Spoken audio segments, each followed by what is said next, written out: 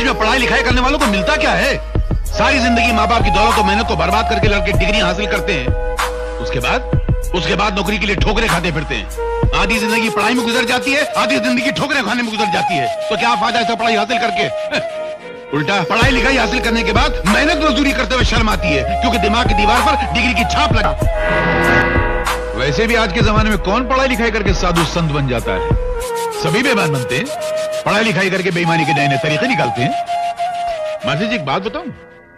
आजकल के जमाने में उसी बच्चे को पढ़ना चाहिए जिसके बाप के बाद दौलत का ढेर लगा हुआ हो। ताकि पढ़ाई लिखाई पूरी करके अपने बाप की कुर्सी पर जाके बैठ जाए और पढ़े लिखे डिग्री वाले नौजवानों को अपना गुलाम बनाकर उन पर हुकूमत करे। इसीलिए मैं अपने बेटे को अपनी यूनिवर्सिटी में पढ़ा रहा हूँ, ताकि बड़ा होकर किसी की नौकरी नहीं करेगा, अपना बिज़नेस अपना कारोबार खुद करेगा, अपने दिमाग के बल पर अपनी उंगलियों की औसत